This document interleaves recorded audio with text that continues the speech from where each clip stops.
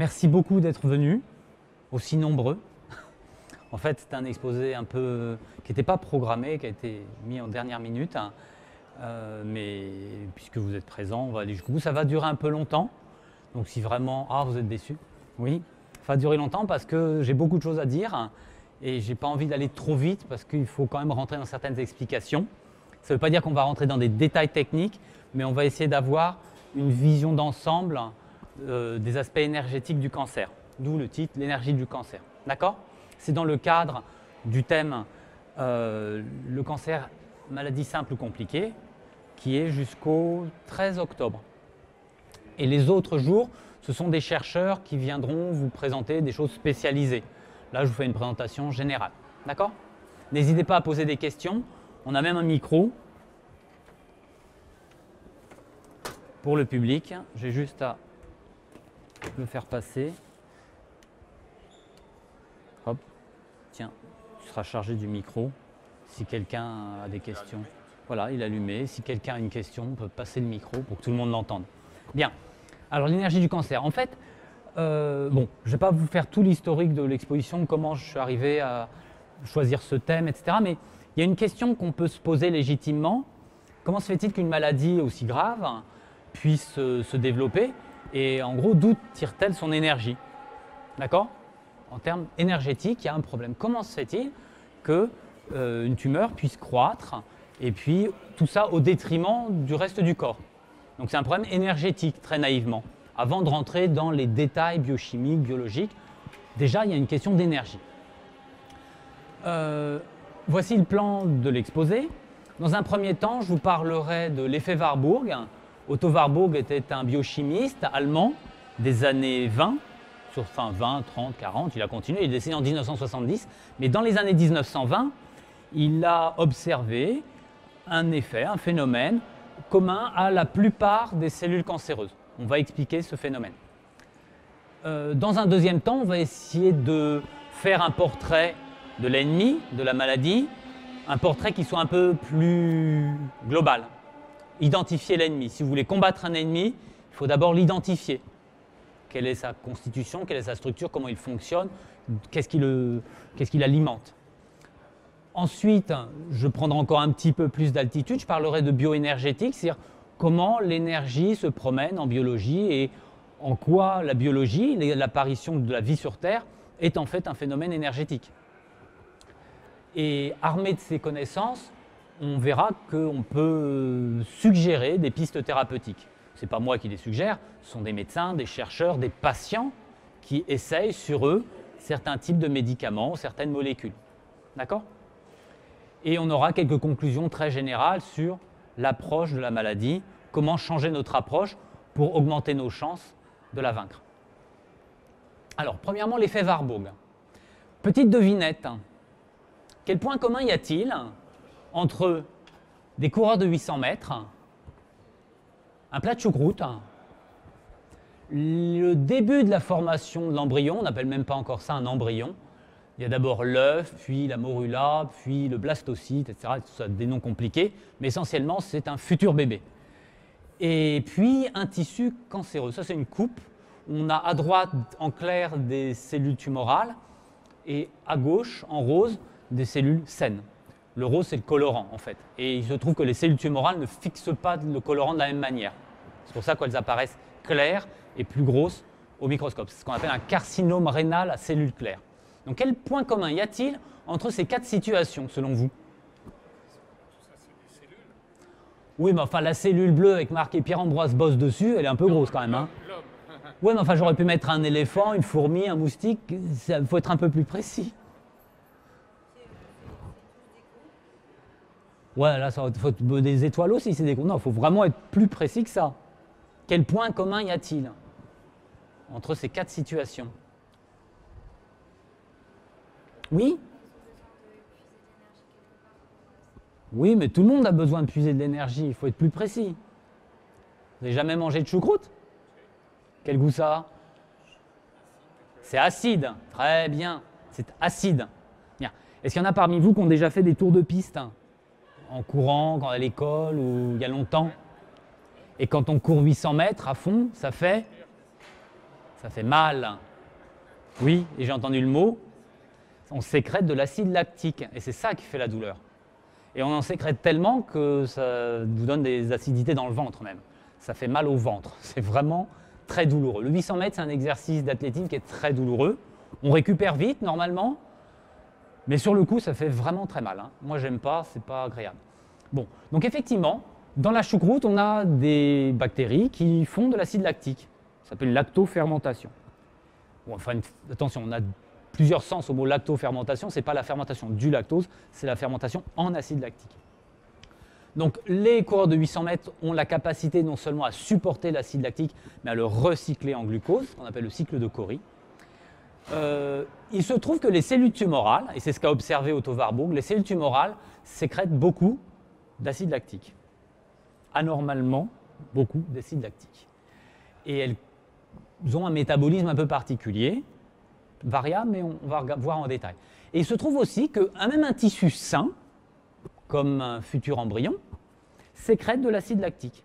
Parce que lui aussi doit faire beaucoup de cellules nouvelles, ce qu'on appelle l'anabolisme, fabriquer des nouveaux tissus. Et dans son développement, il se trouve que sa façon d'utiliser l'énergie sécrète de l'acide lactique, et que cet acide lactique va avoir un rôle particulier dans l'accroche du blastocyte sur la paroi utérine, et dans l'appel des vaisseaux sanguins qui vont venir l'alimenter. Mais tout ça, ça se fait normalement, de manière ordonnée, programmée, dans le développement de l'embryon. Tandis que dans le cas d'une tumeur, ça se fait de manière totalement désorganisée, parce que l'ADN est muté, et puis ça se fait dans le chaos. Donc ce n'est pas un tissu sain. On va voir la différence, surtout euh, au niveau énergétique, les, différentes filières utilisées. Donc retenez que l'acide lactique, c'est le point commun en tant que substance sécrétée dans ces quatre situations qui apparemment sont très éloignées. J'aurais pas pu mettre, par exemple, des coureurs de marathon. Ça, c'est un autre point commun. Quel point commun y a-t-il entre ce magnifique chameau, ces coureurs de marathon, et ce monsieur, ce jeune homme, parce qu'il a 27 ans ici, 28 ans là, il a perdu 125 kilos en 382 jours, sans rien manger quasiment. Cyril a eu juste des compléments alimentaires à base de levure parce qu'il manquait de certains acides aminés peut-être. Et puis euh, un contrôle régulier de son taux de potassium, de sodium, etc., pour qu'il n'ait pas de carence. Donc il avait des petits compléments en sels minéraux. Il était suivi pendant 382 jours en milieu hospitalier et il a perdu 125 kilos en 382 jours. Un peu plus d'un an, sans manger, essentiellement sans manger. Donc quel est le point commun entre ces trois situations? Là aussi, c'est des amas de cellules, mais oui, on puise dans les réserves. Donc, le chameau, qu'est-ce qu'il a comme réserve? De la graisse dans les bosses. Et celui-là, il a bien été rechargé. Hein. Le monsieur qui fait de sa cure d'amaigrissement, qui s'appelait Angus Barbieri, c'est un Écossais, et il y a eu une publication scientifique en 1965 sur son cas, et après il s'est fait connaître quelques années plus tard. Euh, bah pareil, lui, il a puisé dans ses réserves.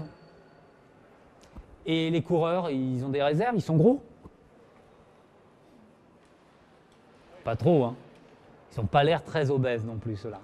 Bien en fait, figurez-vous qu'un muscle de marathonien est plus gras qu'un muscle de sédentaire. Parce que cette fois-ci, les lipides sont stockés directement à l'endroit où on va s'en servir. D'accord? Donc c'est aussi les lipides, les graisses, qui vont être utilisés dans le cas de la course à pied quand vous faites des courses longues. Et ça, c'est un entraînement qui est pas facile non plus, qui est moins douloureux sur le plan énergétique, sur le plan de l'intensité, mais il faut apprendre au corps à utiliser des lipides en courant lentement et longtemps. Et au bout d'une heure, là, l'organisme commence vraiment à bien utiliser les lipides. Vous atteignez une vitesse de croisière qui est la vôtre, on n'est pas tous des champions, mais on va doucement, tranquillement, on se sent bien. Et au bout de deux heures, trois heures, on arrête, on se dit stop, je rentre à la maison et on s'est bien entraîné. Ça, c'est totalement différent de l'entraînement des coureurs de 800 mètres, qui font des efforts extrêmement intenses. OK? Donc voilà deux filières métaboliques très différentes. D'un côté, les coureurs de 800 mètres qui vont utiliser du glucose et qui n'auront même pas le temps de l'oxyder jusqu'au bout, parce que ça va tellement vite que le glucose n'a même pas le temps d'être cassé entièrement, on va juste casser le glucose en deux molécules de pyruvate. Alors, je n'ai pas de pyruvate ici, mais la molécule de glucose, elle est là. Voilà. Donc il y a 1, 2, 3, 4, 5, 6 atomes de carbone. on casse en deux, ça nous fait deux molécules de pyruvate.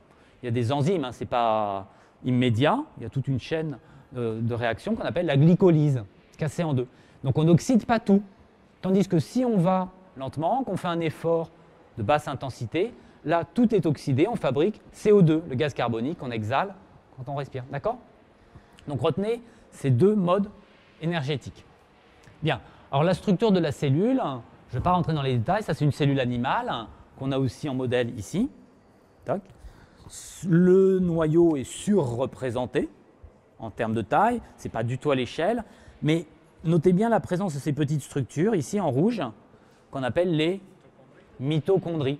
Ce sont nos chaudières cellulaires, c'est nos centrales énergétiques et c'est dans cette mitochondrie, dans ces mitochondries, en a en fait des centaines dans la cellule, qui forment un réseau. Elles sont reliées entre elles par le cytosquelette, elles communiquent, elles peuvent fusionner, elles peuvent se séparer et elles se rassemblent d'une certaine manière selon les situations dans la cellule. Voilà. Donc c'est dans cette structure-là, dans la mitochondrie, que tout va se jouer. Et depuis quelques minutes, nous avons une magnifique maquette de mitochondrie qui nous a été réalisée par une amie couturière qui a mis les principales structures. Je ne vais pas rentrer trop dans les détails, c'est de la biochimie, mais retenez une chose, c'est que la respiration, quand vous respirez, ce n'est pas dans les poumons que se passe la respiration, c'est au niveau des mitochondries, et plus précisément au niveau de la membrane interne des mitochondries, qui est représentée en tissu rose ici. Et encore plus précisément, dans ce qu'on appelle la chaîne de transport électronique, cette succession de molécules qui sont sur ou dans la membrane interne de la mitochondrie, et les électrons se déplacent de proche en proche jusqu'à atteindre l'oxygène. À la fin, les électrons atteignent l'oxygène. Mais le vrai parcours et ce qui va vraiment générer la monnaie énergétique, c'est-à-dire l'ATP, les petites molécules, petites billes dorées, là c'est l'ATP, c'est-à-dire ces molécules qui vont nous servir de monnaie énergétique dans tout l'organisme, c'est engendré ici, à cet endroit-là, dans cette petite structure, ce qu'on appelle l'ATP synthase. Je ne vais pas rentrer dans le détail, c'est une, une, des plus belles molécules, enfin grosse, grosse molécule, une des plus belles structures que l'on puisse avoir dans l'organisme parce que c'est à cet endroit-là qu'on imprime les billets. C'est-à-dire qu'on fait vraiment la molécule d'ATP. Bien. Retenez une chose, enfin je le redirai encore, on a tendance à voir le noyau comme étant le centre de la cellule. Non, il y a d'autres structures qui ont au moins autant d'importance que le noyau. Et on va voir comment euh, ces structures sont importantes dans le cas du cancer. Donc nos cellules utilisent de l'ATP comme monnaie énergétique. Alors l'ATP, ce n'est pas une, énorme molécule, c'est ça. Alors, elle n'est pas complète parce qu'il me manquait des atomes d'oxygène, etc. Mais bon, on quitte à remplir les atomes d'hydrogène et d'oxygène. La seule chose à retenir là-dedans, une chose à retenir, la molécule d'ATP, c'est comme un pistolet, pan, et le projectile, c'est le dernier atome de phosphore, le groupe phosphate final. Et c'est la rupture de cette liaison, le fait de sortir le troisième groupe phosphate, qui va libérer de l'énergie. Et on va passer de l'ATP, adénosine triphosphate, à la DP, adénosine diphosphate. On peut encore aller plus loin, mais ça libère un peu moins d'énergie. Donc c'est surtout ça qui va jouer son rôle énergétique dans les échanges d'énergie entre tous les mécanismes intracellulaires. Alors on a parlé de la glycolyse, c'est le fait de casser le glucose en deux. Et ça n'est pas une oxydation. On ne va pas jusqu'à CO2. Et si on va jusqu'au bout, on fabrique beaucoup plus d'ATP.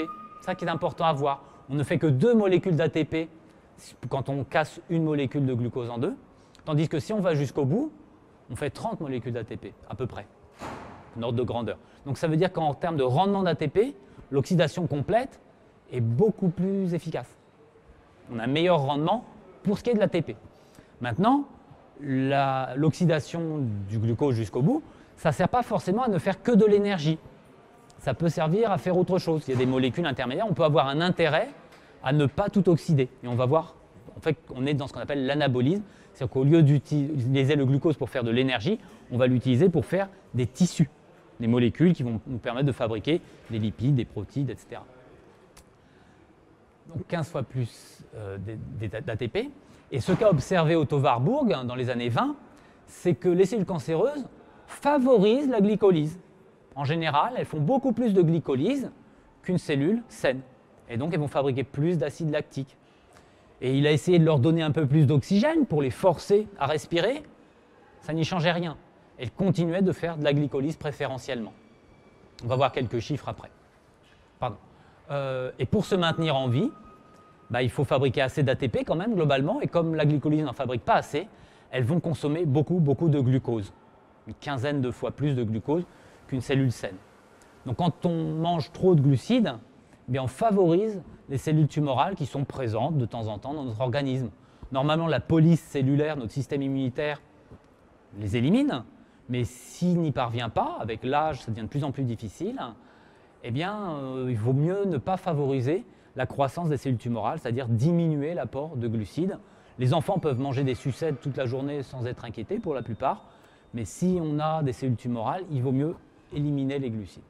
Voilà le principe général. On n'élimine pas totalement, on en prend beaucoup moins. Alors glycolyse, je passe, c'est le détail de ce que j'ai raconté. Si on veut rentrer dans le détail, c'est ça. Euh, retenez simplement que le glucose entre à l'intérieur de la cellule, ça c'est la membrane cellulaire. Elle fait la glycolyse, il y a une succession d'étapes ici. Et la molécule de pyruvate, elle a deux possibilités. Soit elle donne du lactate et la cellule extrait le lactate, c'est un déchet. Soit elle continue son chemin et elle va passer dans ce qu'on appelle le cycle de Krebs, c'est-à-dire la respiration complète, mais qui est plus lente, mais qui va permettre de fabriquer le gaz carbonique à la sortie, si le cycle de Krebs fonctionne bien. Voilà le cycle de Krebs, alors on ne regarde pas les détails, c'est compliqué, il faut être biochimiste pour tout comprendre. La seule chose à retenir, c'est que le pyruvate rentre dans le manège, alors pas directement, il va d'abord donner un groupement acétyl, il y a déjà un petit un atome de carbone qui est oxydé, donc déjà il y a un peu de respiration là, CO2. Le groupement acétyl va rentrer dans le manège et quand il aura fait son tour, il va sortir le carbone sous forme oxydée, CO2, CO2. D'accord? Sans retenir le détail, on oxyde le carbone, donc c'est de la respiration. On oxyde complètement le carbone jusqu'à fabriquer CO2 et H2O.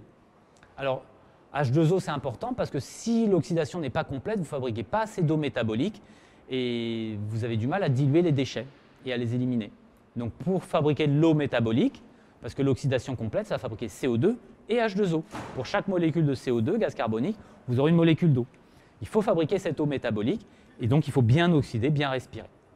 Alors ça, c'est la chaîne de transport électronique, je passe, c'est un peu compliqué, mais sachez que c'est un problème de transfert d'électrons et qu'à la fin, le dernier à prendre les électrons, c'est l'oxygène. Ce que je vous ai dit sur la membrane interne de la mitochondrie. La respiration, elle se passe dans nos mitochondries. Et petit détail intéressant, la mitochondrie a droit de vie et de mort sur la cellule. Parce qu'elle a une molécule sur sa membrane interne qu'on appelle le cytochrome C, c'est une grosse molécule. Hein. Euh, et ce cytochrome C, s'il est largué dans la cellule, c'est ce qu'on appelle un signal apoptotique. Ça veut dire c'est coup de sifflet final, la cellule arrête de fonctionner et elle se décompose proprement. C'est la mort programmée de la cellule, ce qu'on appelle l'apoptose. Et il vaut mieux, on dit oh là là, mort programmée la cellule, mais il vaut mieux faire de l'apoptose que de la nécrose. La nécrose, c'est quand une cellule est blessée, qu'elle éclate et qu'elle relâche toutes sortes de déchets dans son environnement. Ça, c'est pas bon. Ça fait de l'inflammation. Ça fait des déchets. Il faut s'en débarrasser. Tandis que la nécrose, c'est un démontage propre de la cellule. Alors, voilà le diagramme qui résume à peu près tout ce que j'ai raconté, ou presque, dans ce qu'on appelle un tissu différencié, c'est-à-dire un tissu qui fonctionne et qui est sain, et dans lequel chaque cellule joue son rôle. Une cellule de foie va faire ce que doit faire une cellule de foie, une cellule de peau va faire ce que doit faire une cellule de peau, etc. Chaque cellule a sa fonction.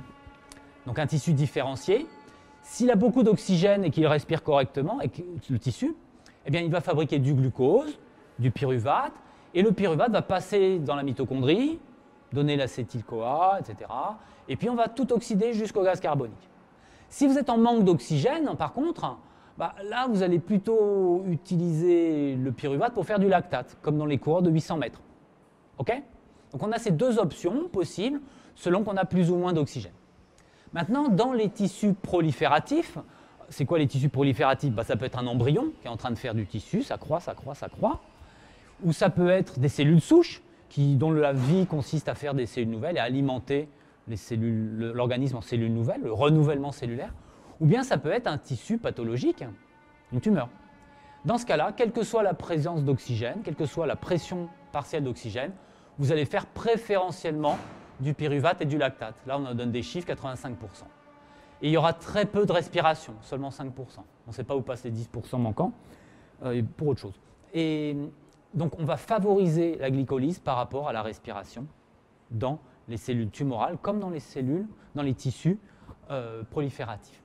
C'est ce qu'on appelle l'effet Warburg, le fait qu'on ne puisse pas refaire respirer les cellules euh, des tissus tumoraux, que ce soit pas réversible, c'est l'effet Warburg.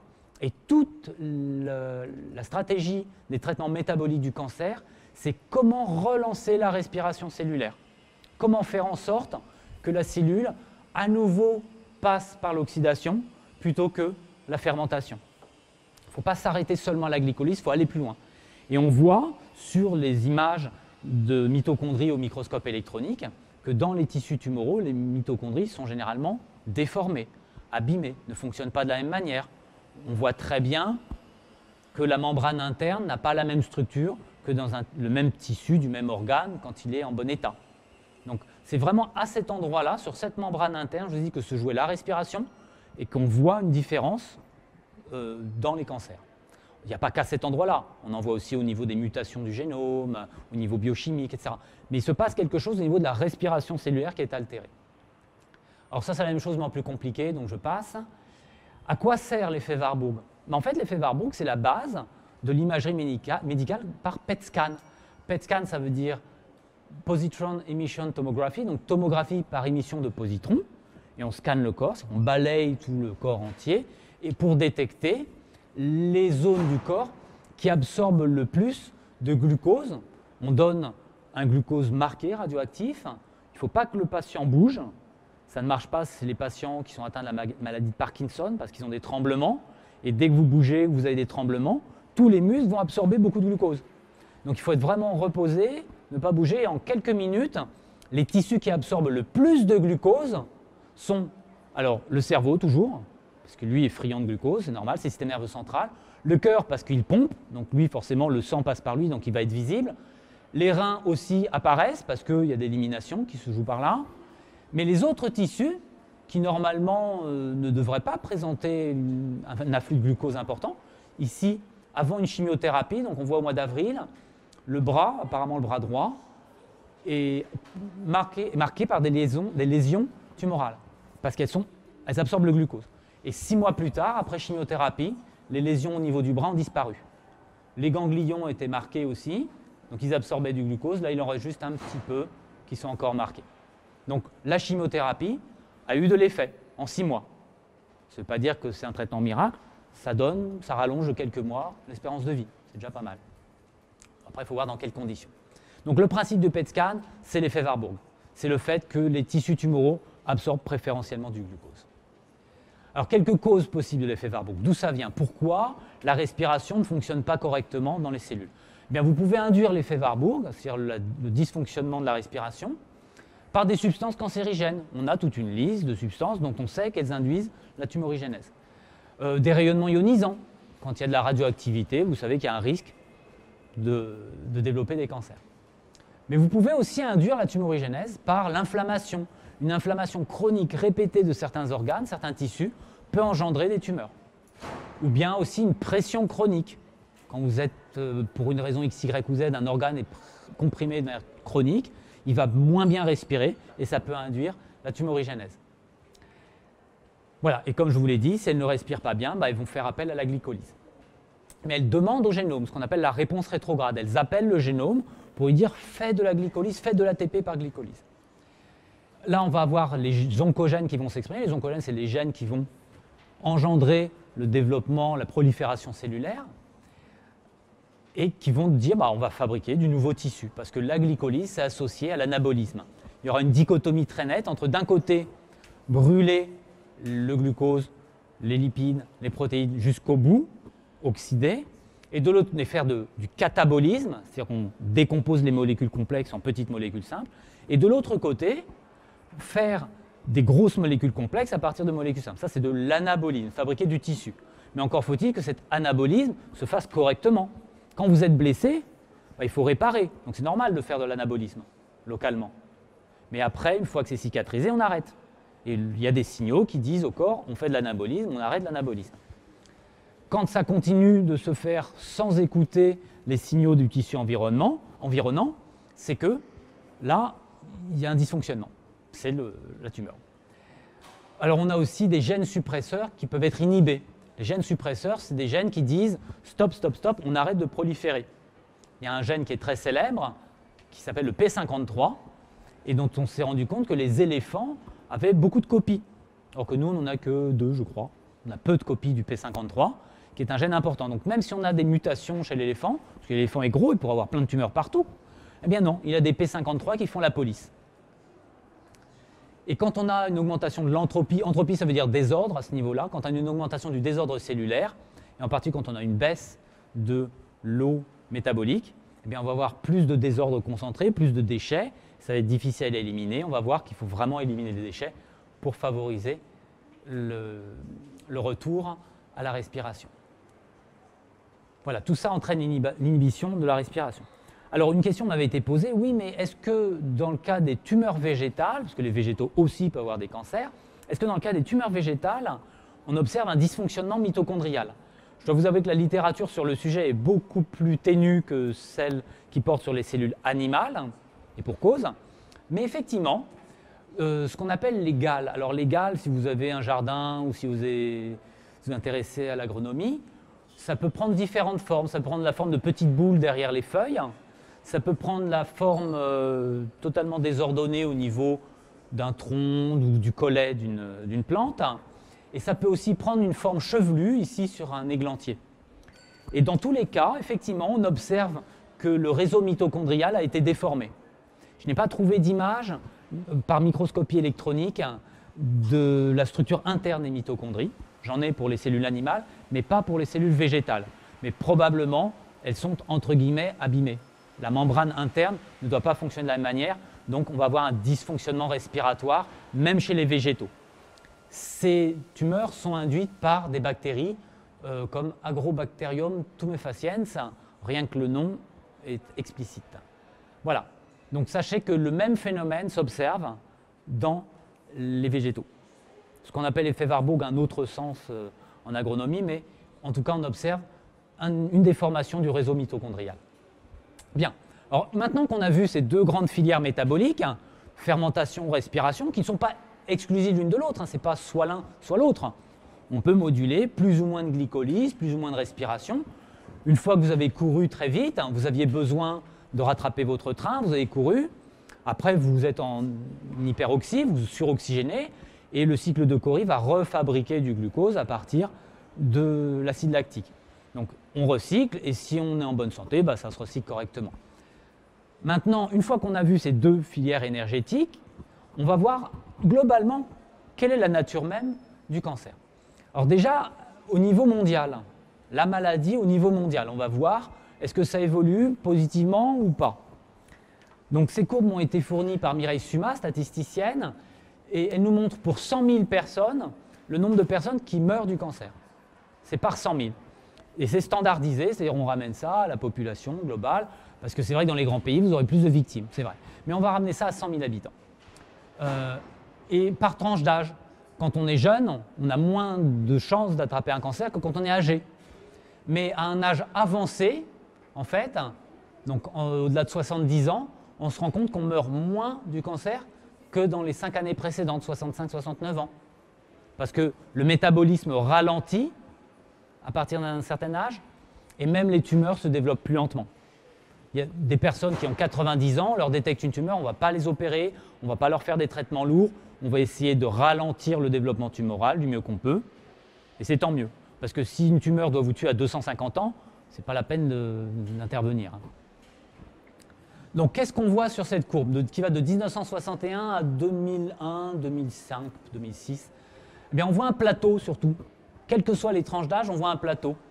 Entre 70 et, 80, et 2000, on va dire, ouais, 95, on a un plateau. Ça veut dire que la mortalité n'a pas baissé pendant des décennies. Il faut savoir qu'à partir de 1971, aux États-Unis, on a un grand plan anti-cancer et Richard Nixon, président des États-Unis, met je ne sais combien de milliards de dollars sur la table et dit dans 10 ans, le cancer sera vaincu. Bon, évidemment, ça n'a pas fonctionné. Et on peut même dire que dans les années qui ont suivi, rien n'a changé. C'est-à-dire qu'on a fait des progrès techniques, indéniablement. Les chercheurs travaillent énormément, ils euh, développent des méthodes euh, d'investigation, de détection ou pour soigner les gens qui sont extraordinaires, Mais globalement, à l'échelle mondiale, le taux de mortalité standardisé n'évolue pas.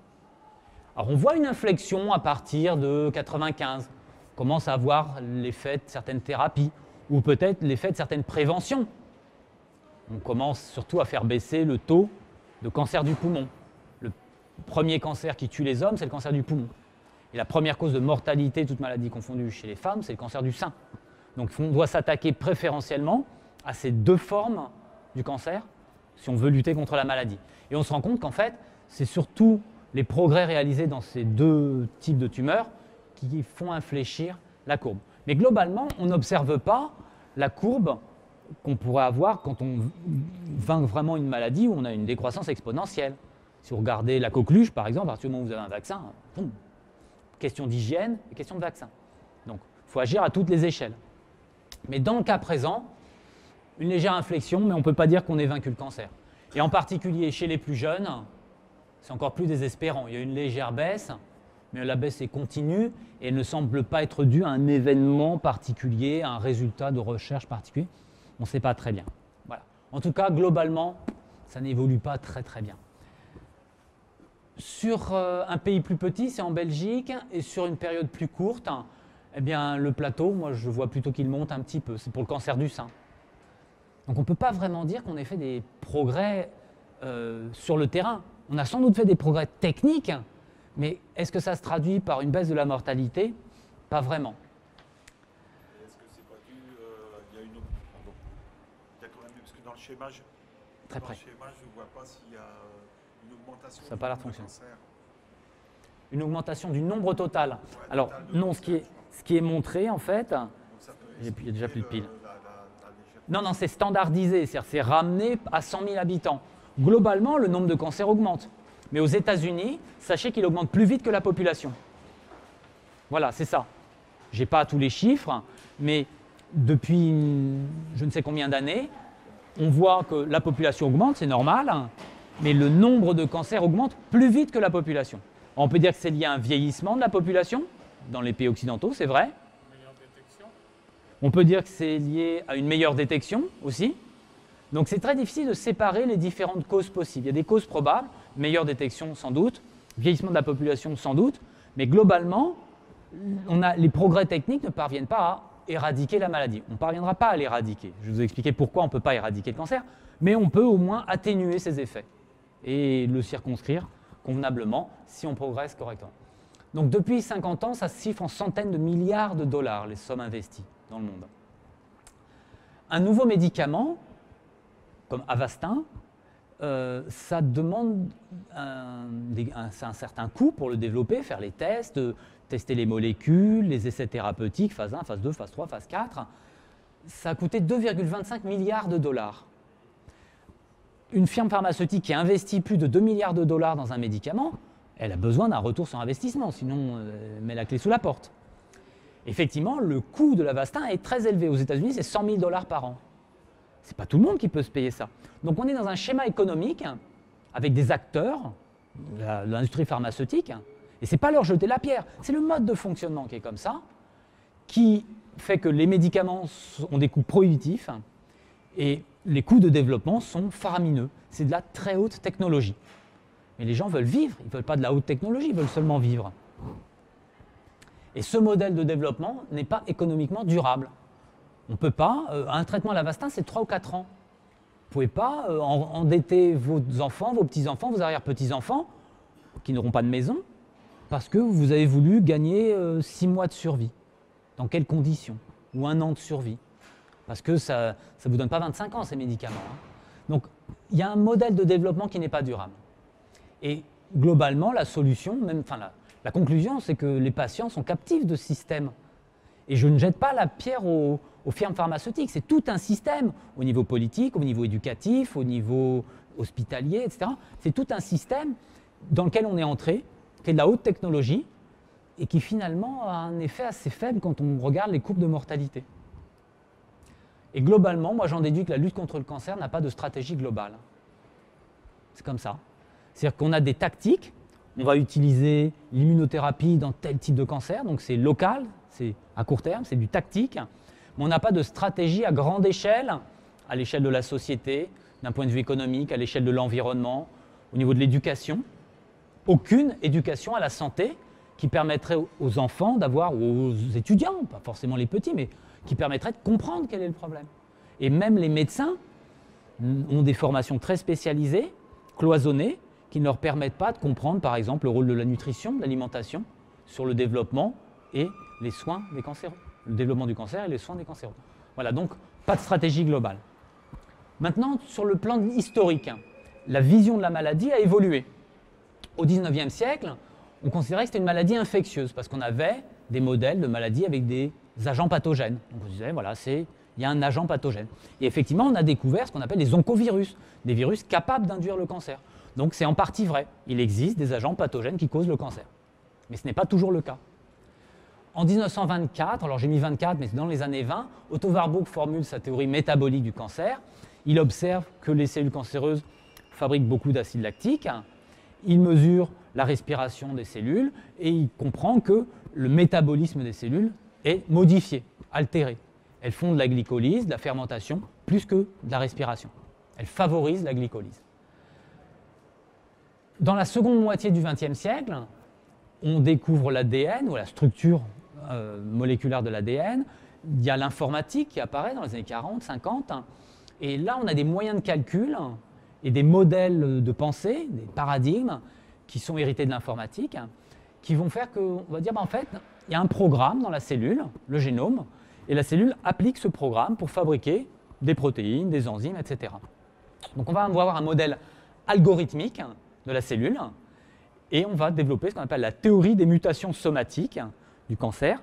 C'est-à-dire que le corps, soma, va subir des mutations, et l'accumulation de ces mutations, ça va induire le cancer. Donc si vous allez sur le, site internet de l'Institut national du cancer aux États-Unis, ils vous disent le cancer est une maladie génétique, point, premier dogme, et c'est l'accumulation de mutations qui cause le cancer. Maintenant, il y a un problème en biologie, c'est que la notion de causalité n'est pas la même qu'en physique. Ça ne veut pas dire qu'il y a des effets sans cause. Ça veut dire que quand vous avez des boucles de rétroaction, eh bien, certains effets peuvent renforcer des causes. Et on ne sait plus quelle est la cause, quel est l'effet. C'est la poule et l'œuf. Donc dire voilà telle cause, ça n'a pas grand sens en fait. C'est un réseau de phénomènes qui se renforcent les uns les autres et qui font que le phénomène perdure. Mais dire, voilà, j'ai trouvé la cause première, je vous parlerai ensuite d'une expérience euh, qui a été faite euh, et dont la publication date de 1988 et qui met en doute la théorie des mutations somatiques sur le cancer. Il y en a beaucoup d'expériences, mais celle-là en particulier est vraiment euh, criante. Dans les années 1960, un biologiste qui s'appelait Albert Szent-Györgyi, qui a eu le prix Nobel de physiologie et médecine en 1937, euh, explique qu'en fait c'est une modification de la cascade énergétique des électrons. On a vu que dans la chaîne respiratoire, là, dans la, dans la mitochondrie, les électrons se promenaient de molécule en molécule pour arriver finalement jusqu'à l'oxygène. Et ce qu'il nous dit en substance, c'est que si cette chaîne de transport électronique est modifiée, est altérée, ou si la membrane elle-même est altérée, les électrons ne parviendront pas à passer correctement jusqu'à l'oxygène. Et il explique le cancer comme étant un problème d'électronique. Il fait des analogies avec les semi-conducteurs. Les biologistes le regardent d'un œil euh, étrange. Et ces théories tombent un peu aux oubliettes, mais ça a un sens aussi. Il y a bien une modification du parcours des électrons dans le fonctionnement de la mitochondrie tumorale. Et au début du XXIe siècle, on a encore un autre regard, complémentaire des précédents, ce qu'on appelle la théorie de la désorganisation tissulaire, ou TOFT, Tissue Organization Field Theory. Euh, au départ, il y a des expériences de Mina Bissell, biologiste américaine, qui démontrent qu'on peut euh, revenir en arrière, transformer un tissu tumoral dans des tumeurs mammaires de la souris, le retransformer en tissu sain. Donc il y a une réversibilité, et elle y parvient en agissant sur la communication entre cellules. Elle ne regarde pas ce qui se passe dans les cellules, mais ce qui se passe dans la matrice extracellulaire. Donc elle dit, le cancer peut aussi être induit par une mauvaise communication entre cellules. Donc tous ces points de vue, que ce soit les électrons, les molécules, les gènes, la cellule, les enzymes, la matrice extracellulaire, etc., nous montrent qu'en fait, on peut avoir une lecture multi-échelle du cancer. Et c'est en joignant toutes ces échelles-là qu'on peut avoir une carte du territoire un petit peu plus lisible. D'accord? Donc je ne vais pas faire toutes les échelles, moi je vais m'intéresser à l'aspect énergétique.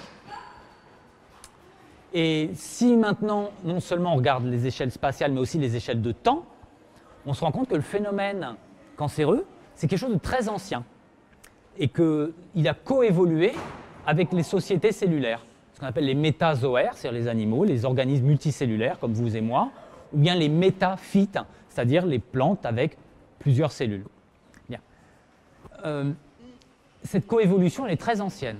À partir du moment où sont apparus sur Terre des organismes multicellulaires complexes, organisés, alors on avait au précambrien, il y a plus de 540 millions d'années, il y avait des êtres pluricellulaires, mais ils n'étaient pas aussi organisés que ceux du Cambrien, qui sont apparus il y a environ 540-543 millions d'années, où vous avez une explosion de biodiversité, avec tous les principaux euh, embranchements qu'on voit aujourd'hui, qui sont déjà présents il y a 540 millions d'années. Et beaucoup qui ont été élagués par la sélection naturelle, qu'on ne retrouve plus aujourd'hui. Et à partir du moment où vous avez des sociétés cellulaires complexes, eh bien vous aurez des cellules parasites. Dès que vous avez une société, vous avez des voyous. Dès que vous avez un organisme, vous avez des parasites. Et dès que vous avez un mode de fonctionnement organisé, social, vous avez des cellules qui vont, des individus qui vont ne pas jouer le jeu, qui vont sortir de la règle du jeu. Et c'est le phénomène cancéreux. C'est des cellules qui vont faire euh, bande à part. Le problème, c'est que quand vous avez un petit voyou dans un coin, bon, un coup de bâton, tout va bien, quelques coups de bâton, mais quand les voyous commencent à s'organiser en mafia, là, c'est beaucoup plus difficile à éradiquer il faut faire intervenir l'armée. Donc on va voir comment faire intervenir l'armée contre la mafia oncobiotique, puisque c'est comme ça qu'il faut l'appeler. Alors, quelques caractéristiques du cancer. J'aime bien ce diagramme parce qu'il nous dit beaucoup de choses et très peu à la fois. Il nous dit beaucoup de choses sur les différents aspects du cancer. Le fait que, alors pardon, c'est en anglais, mais je vais vous le traduire. Le fait que les cellules n'ont pas besoin de messages de leur environnement pour proliférer, elles émettent elles-mêmes leurs propres signaux de prolifération. Le fait qu'elles soient sourdes aux signaux d'arrêt de prolifération, elles continuent sans écouter les cellules voisines. Le fait qu'elles puissent se reproduire sans limite, même si elles font des mauvaises photocopies, vous avez déjà photocopié 500 fois le même document, ça ne ressemble plus à rien au bout d'un moment, bah, c'est le problème des cellules qui continuent de se multiplier sans limite. Elles ont des dommages causés sur l'ADN. Hein. L'ADN subit beaucoup de dommages, des mutations. Elles subissent un stress oxydatif. Il y a beaucoup de radicaux libres et elles parviennent à supporter ces radicaux libres, alors qu'une cellule courante mourrait sous un tel stress oxydatif. Elles subissent un stress mitotique, c'est-à-dire qu'au lieu d'avoir des mitoses, des séparations cellulaires en deux cellules bien symétriques, etc., en fait, ça peut être des mitoses multipolaires avec des nombres de chromosomes aberrants. Donc des mutations vraiment méchantes, hein. euh, enfin des transformations beaucoup bien, très méchantes en mutation et en répartition des chromosomes. Un stress protéotoxique, c'est-à-dire que comme il y a de l'acidité, avec l'acide lactique, hein, comme il y a des modifications de pH, eh bien les molécules, euh, les enzymes vont être déformées, les protéines vont être déformées, ce qu'on appelle le stress protéotoxique. La modification métabolique, on l'a vu, beaucoup de fermentation, elles s'échappent, hein, elles échappent à la surveillance immunitaire. Bah, quand vous avez des voyous, vous avez remarqué qu'ils arrivent même à recruter des policiers parfois. Ça s'appelle des ripoux. Eh c'est ce qui se passe. Vous avez des cellules du système immunitaire qui font alliance avec des cellules tumorales, et là, ça devient extrêmement dangereux. Vous pouvez avoir des macrophages, qu'on les TAM, les macrophages associés aux tumeurs, qui viennent euh, autour de la tumeur, dans le stroma, dans le tissu environnant, et qui à un moment bah, se dit bah, son travail, c'est de manger une cellule tumorale, les cellules malsaines, les agents pathogènes, etc. Sauf qu'elles n'arrivent pas à digérer la cellule tumorale et elles forment ce qu'on appelle un hybride, qui a à la fois la mentalité de la cellule voyou et les capacités d'action d'un macrophage, c'est-à-dire pénétrer les lignes ennemies, rentrer dans tous les tissus. Et là, c'est une catastrophe, ça fait des métastases. Donc, une des raisons possibles de l'apparition de métastases, c'est la fusion macrophage-cellule tumorale. Et il faut comprendre ce mécanisme pour lutter contre les métastases. La plupart des personnes qui meurent d'un cancer meurent en réalité de métastases. On va voir si le micro fonctionne. Sinon, je vais répéter la question. Si ça ne fonctionne pas? Beaucoup plus fort, parce que même moi, j'entends pas. Ça s'appelle des cellules hybrides. C'est des macrophages, mais c'est tellement bizarre. Ça se passe dans le stroma, cette fusion. Je pourrais vous donner une référence exacte euh, sur le sujet. Mais C'est une hypothèse qu'il faut encore tester, mais on observe en tout cas dans les cellules métastatiques, on observe un phénotype de macrophage, c'est-à-dire qu'elles se comportent un peu comme des macrophages. Et c'est pour ça qu'on suspecte qu'il y a eu fusion macrophage-cellule tumorale. Et il faut comprendre pourquoi, comment bloquer cette fusion. Euh, voilà, une chose que, dont je n'ai pas parlé, c'est la néo-angiogénèse. J'en ai parlé tout à l'heure quand je vous disais que l'embryon doit, enfin le, blastocyte doit appeler à lui des vaisseaux sanguins pour alimenter le futur embryon et faire un bébé. Euh, eh bien là, c'est pareil. Les tumeurs, grâce à l'acide lactique, vont attirer les vaisseaux sanguins et se nourrir. Ça les attire de manière anarchique, hein. c'est chaotique. Ce n'est pas des vaisseaux bien organisés. La néo-angiogénèse, c'est euh, un peu désordonné. Et puis, on en a parlé, invasion du tissu et métastase. Alors voilà l'expérience qui pour moi est cruciale, une expérience cruciale, il en a beaucoup, mais voilà une expérience cruciale pour tordre le cou à la théorie des mutations somatiques. Une cellule saine, si elle subit une mitose, si elle se divise en deux, elle va donner deux cellules filles saines. Vous êtes d'accord? Si tout va bien, les deux cellules filles sont saines. Inversement, une cellule tumorale, lorsqu'elle subit une mitose, elle va donner deux cellules filles tumorales. On est d'accord? Bien. Et l'expérience simple en apparence sur le principe, mais assez complexe à réaliser, consiste à échanger les noyaux. Si la cause première du cancer est bien située dans le noyau, en mettant donc l'ADN, les gènes, le génome roi, si vraiment le génome est roi, en prenant un noyau de cellules tumorales et en le mettant à la place du noyau d'une cellule saine, donc on enlève le noyau sain d'une cellule saine et on met un noyau de cellules tumorales avec le programme abîmé. Eh bien, les deux cellules filles devraient être tumorales, si le génome est roi.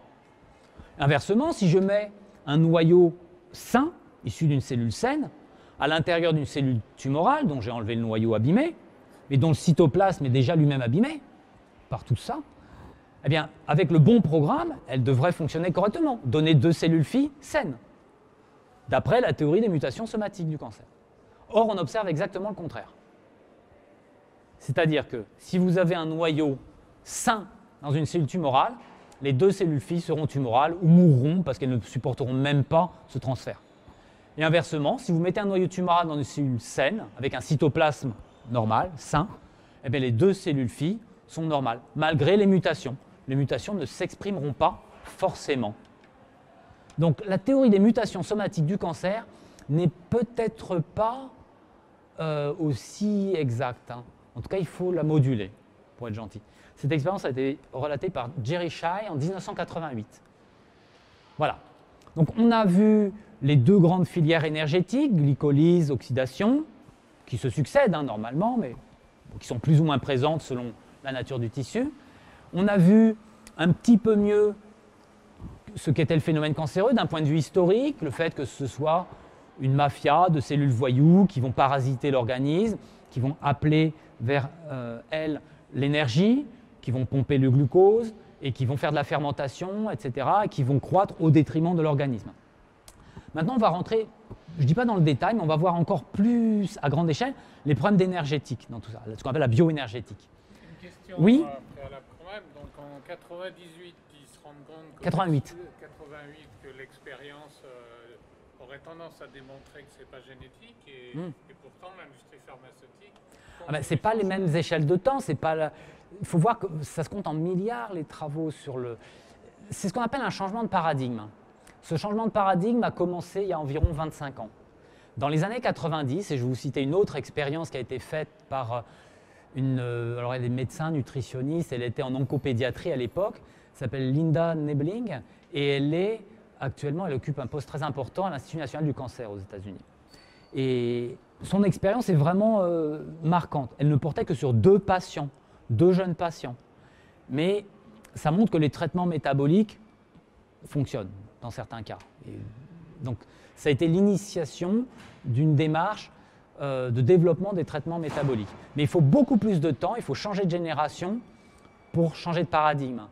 Les médecins, les grands médecins ou petits médecins, tous les médecins, les biologistes, etc., qui ont été formés à une époque où on leur disait un gène code pour une protéine et le génome est roi, eh bien aujourd'hui, s'ils ont 50, 60 ans, qui sont très reconnus, etc., ils vont pas changer de paradigme. C'est très difficile de changer de paradigme. C'est la génération suivante, hein. c'est peut-être même pas la génération qui est formée actuellement, qui se dira que, ah oui, finalement, ça n'est pas tellement génétique. Il y a des problèmes génétiques, manifestement. On ne nie pas l'existence des mutations. Elles sont là. Mais est-ce que c'est le bon endroit pour agir? On peut en douter. Ce n'est pas parce que vous avez euh, trouvé le programme, le programme encore faut-il qu'il s'exprime.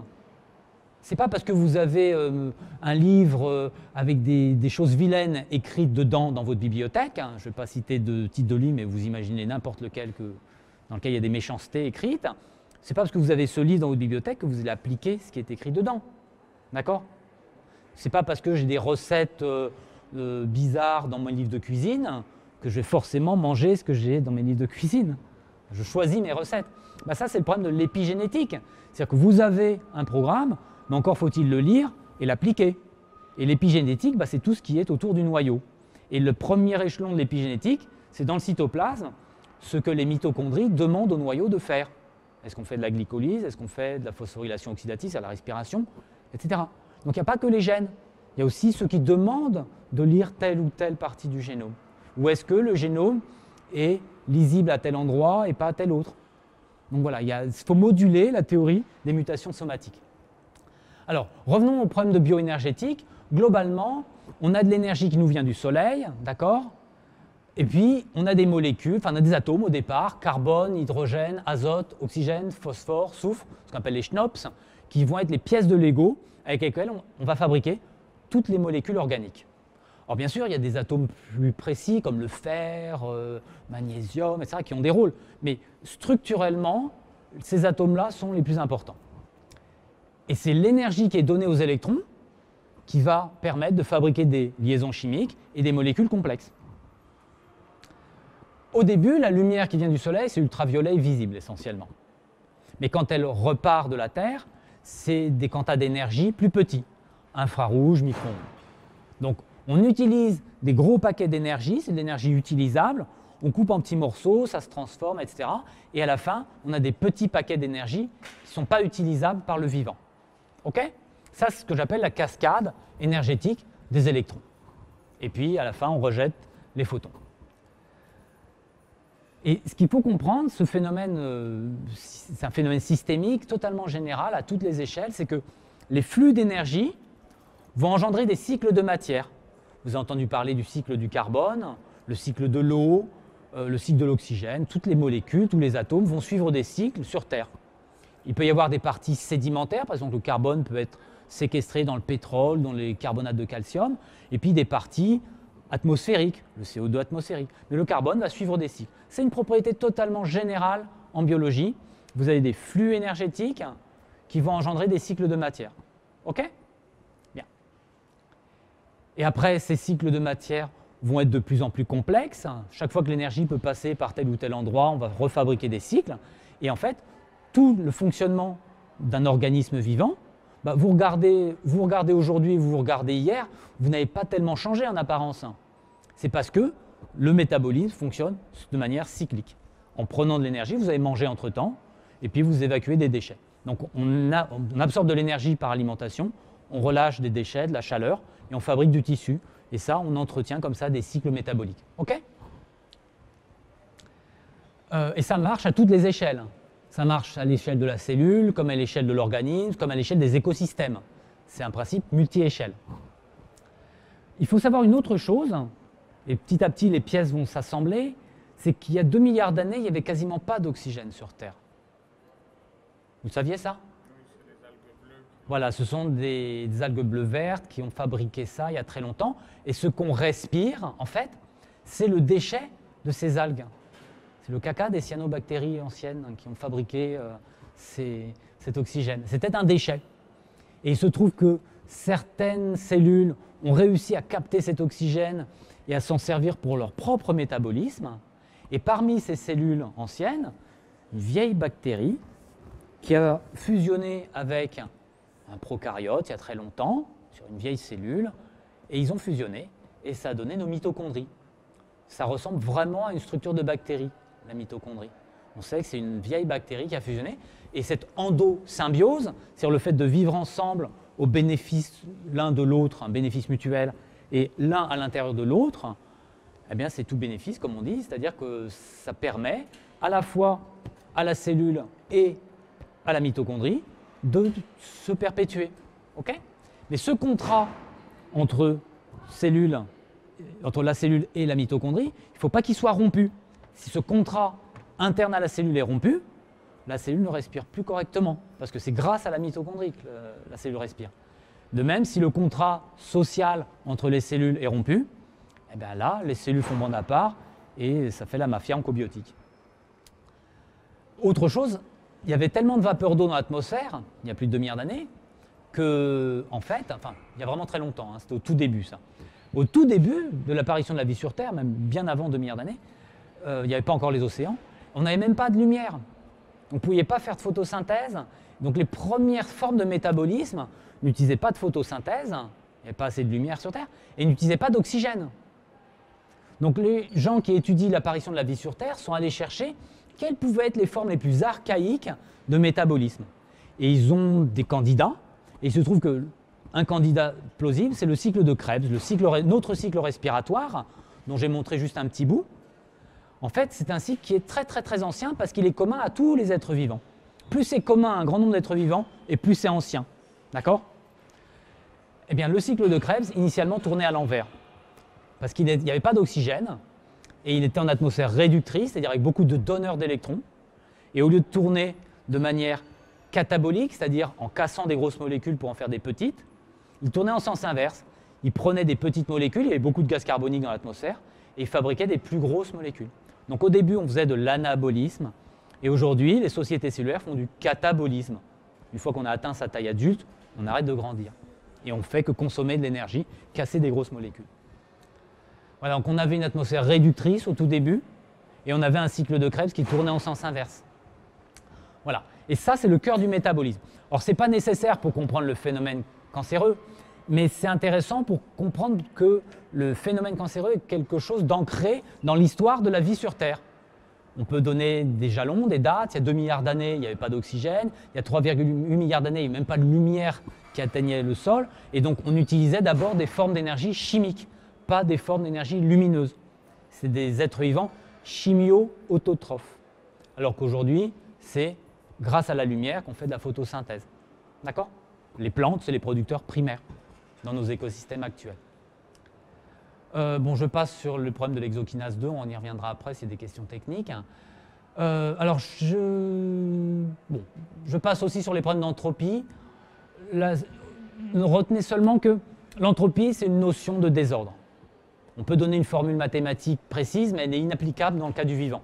Donc elle n'a pas grand intérêt aujourd'hui.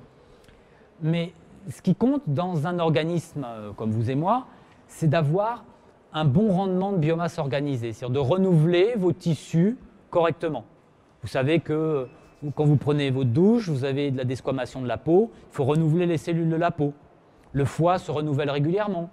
la membrane, enfin la paroi intestinale se renouvelle très rapidement, en quelques jours, d'accord, quelques heures même peut-être, je ne sais plus très bien. Euh, donc ce renouvellement cellulaire, c'est la biomasse organisée qu'on doit sans cesse créer, et c'est ce qui fait qu'on reste en vie. Mais si vous faites de la biomasse qui est désorganisée, des tumeurs, ça ne va pas. On veut faire de la biomasse, faire de l'anabolisme, mais avec des tissus différenciés, des tissus organisés. OK?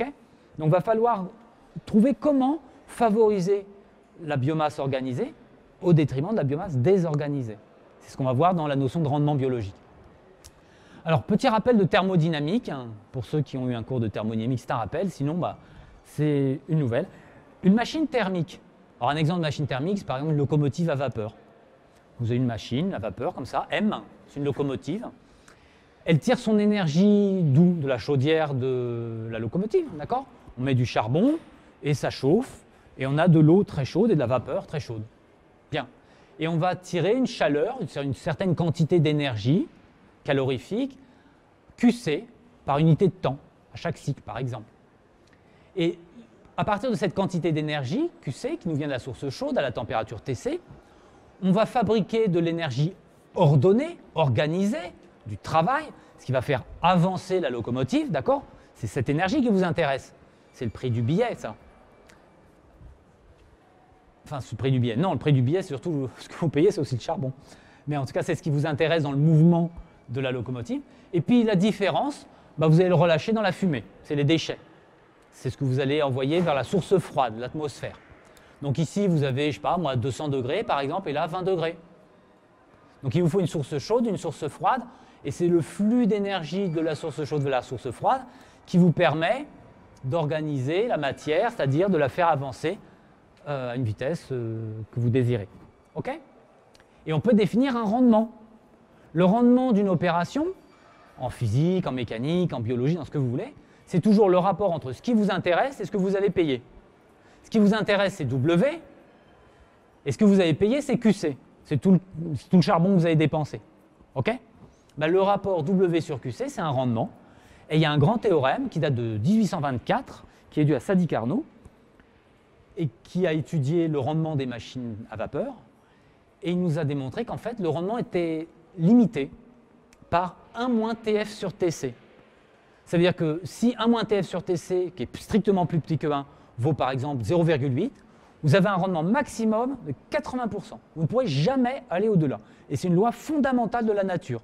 Vous avez beau améliorer votre locomotive, votre carburant, tout ce que vous voulez, ça ne dépend que de la température de la chaudière et de la température extérieure. Et d'ailleurs, vous avez remarqué que dans les musées, où la température dans la chaudière est égale à la température extérieure, bah, la locomotive n'avance pas. C'est normal, puisque le rendement maximal vaut 0 dans ce cas-là. Donc la puissance d'une locomotive, ça n'a pas de sens. C'est seulement le rendement maximal dans des conditions thermiques données qui a un sens. Alors, rendement énergétique en biologie. Donc, on a un modèle euh, de thermodynamique. Est-ce qu'on peut l'appliquer ou au moins le transposer en biologie?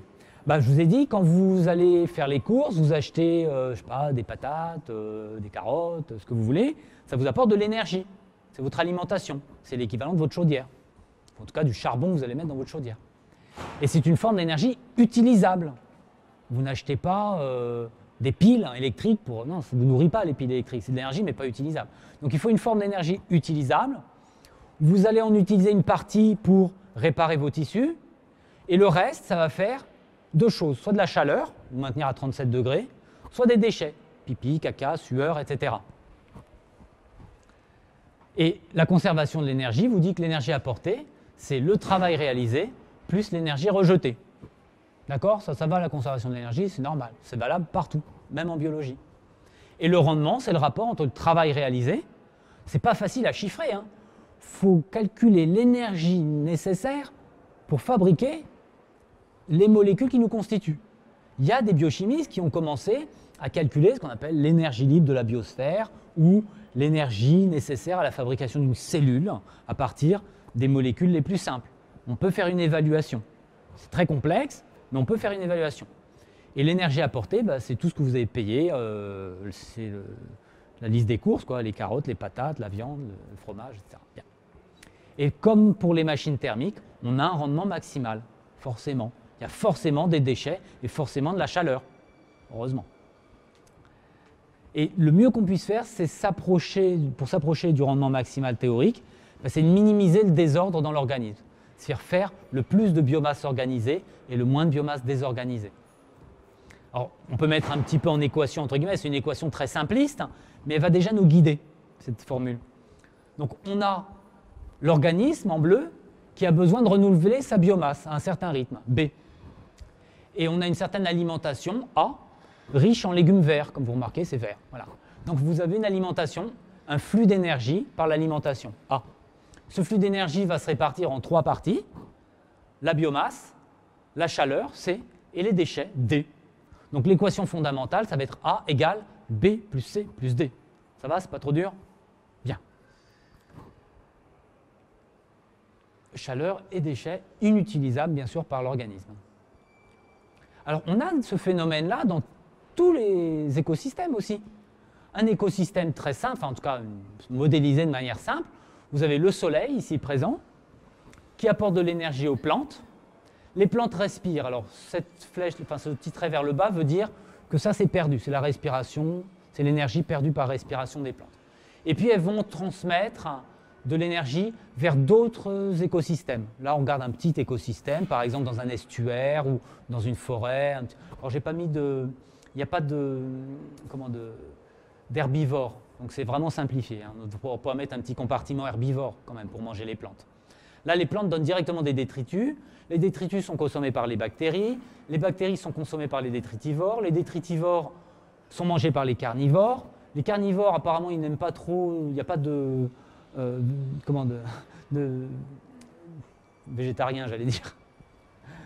D'espèces euh, qui mangent les plantes. Donc, euh, par contre, ils vont donner des détritus, les crottes de carnivores. Et tout ça, ça fait des cycles. D'accord? Je vous ai dit en biologie, ce qui compte, ce sont les cycles. Ce sont les cycles qui perdurent. Et un écosystème, la structure d'un écosystème, que ce soit à grande échelle ou à petite échelle, c'est toujours par ces cycles qui perdurent. Après, vous pourrez remplacer les plantes. Hein. Vous pouvez remplacer une espèce par une autre espèce de plante, ça ne changera rien. L'écosystème sera présent. Éventuellement, les flux d'énergie seront modifiés, mais on peut parfois les mesurer. Dans certains écosystèmes, là je ne sais plus quel écosystème c'était, on peut faire des mesures exactes de la quantité d'énergie qui passe par an euh, de tel compartiment à tel compartiment, etc. Bon. Revenons à nos moutons. Vous avez un organisme ici qui doit renouveler sa biomasse. Et supposons qu'il a un problème, il y a une partie de la biomasse qui est désorganisée, il y a une tumeur, qui est le petit point violet ici. Alors, le flux de biomasse, la fabrication de nouvelles biomasses, va être décomposé en deux. Vous allez avoir une biomasse organisée en bleu ciel et une biomasse désorganisée en violet. Et ce qui nous intéresse, c'est d'augmenter le rendement BO sur B. Vous voulez réparer vos tissus, vous ne voulez pas nourrir la tumeur. Donc comment faire énergétiquement pour favoriser le rendement de biomasse organisée Donc BO, bah, si vous êtes un adulte, votre biomasse organisée, se renouvelle à un rythme constant, vous n'allez pas grandir. Vous n'allez pas trop, trop non plus, j'espère. Mais en tout cas, BO est constant. C'est-à-dire qu'on a un renouvellement régulier de nos tissus, intestin, peau, foie, etc. Donc le numérateur est constant. En revanche, le B, lui, qui est au dénominateur, eh ben, ça dépend de ce qu'on mange, ça dépend de la chaleur qu'on rejette et ça dépend des déchets qu'on rejette. Et d'après l'équation A égale B plus C plus D, B c'est A moins C moins D. Donc si je veux augmenter le rendement, BO sur A moins C moins D, je dois diminuer le dénominateur. D'accord?